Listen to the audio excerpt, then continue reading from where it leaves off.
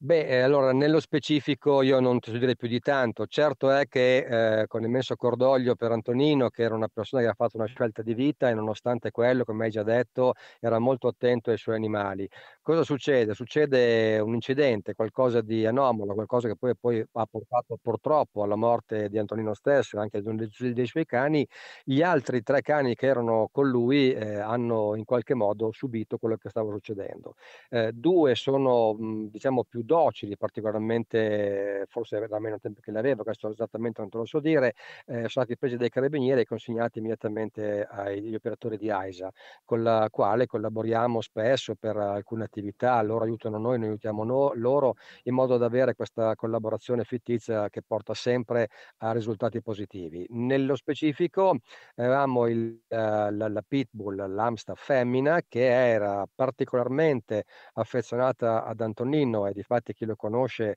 avrà visto decine di foto della della cagnolona insieme a lui, ehm, era chiaramente particolarmente, ehm, scossa da questa cosa e non si lasciava avvicinare. Ci sono voluti, mhmm, ehm, diverse decine di minuti per riuscire in qualche modo ad a ad attenuare quella che era il suo nervosismo, a riuscire ad avvicinarla fino al punto di riuscire ad attrapparla con il un guinzaglio e riuscire poi così, una volta presa, a portarla in sicurezza all'interno del veicolo di AISA per poi essere condotta insieme agli altri 2 al canile. Ora i 2 ca i 3 cani sono al canile e lì occorrerà capire cosa succederà in funzione di eventuali eredi o di chi potrà o dovrà prendersene prendersene cura, insomma.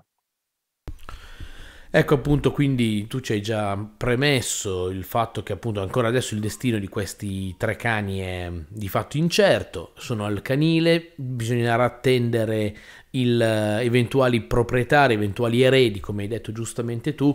Io immagino che in caso di mancanza di eredi o di mancanza di interesse da parte degli eredi, eh, lo dico anche perché Antonino aveva un sacco di amici. Io immagino che mh, mm, ci sarà la possibilità per qualche amico particolarmente affezionato ad Antonino di poter avere questi cani, poter adottare questi cani, secondo te, in caso, ovviamente lo abbiamo detto, non ci dovessero essere eredi o se non dovessero essere interessati. Guarda, io sugg mi sento di suggerire di non fare la corsa alla alla proposta o alla richiesta, ovvero, ehm, in questo momento tutto è ancora al vaglio del degli inquirenti, di cosa è successo, come è successo, chi, come, quando e perché. Per cui, ehm, i cani stanno certamente bene, il canile è un luogo in cui gli animali vengono accuditi al meglio possibile. È chiaro, non è come essere sul divano di casa, però certamente è è ben meglio che essere in lungo una strada ed essere magari investiti o creare incidenti. Detto ciò, io consiglierei di attendere che le varie amministrazioni, le varie, ehm, realtà in campo, mhmm, diranno cosa sarà possibile fare. Nel momento in cui verrà sbrogliata questa matassa, nel senso che sarà possibile accedere o prenotarsi o richiedere di poter adottare questi animali, certamente ci sarà una comunicazione e a quel punto è forse il caso di iniziare una proposta a proporsi, ecco. Prima di quello,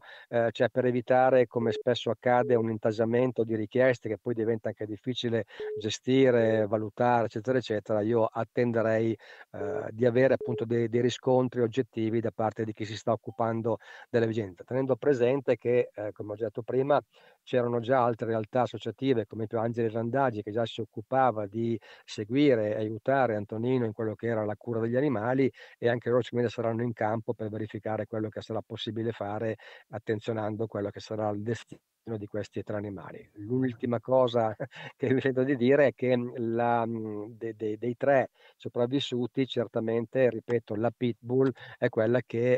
ehm, sembra aver risentito maggiormente della mancanza del proprio proprio padrone. Difatti anche una volta presa particolarmente